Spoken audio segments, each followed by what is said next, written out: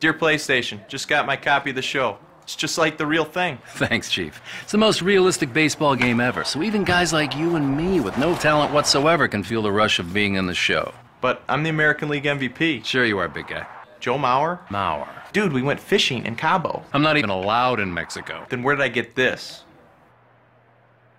Well played, Mauer. The show, rated E for everyone. PlayStation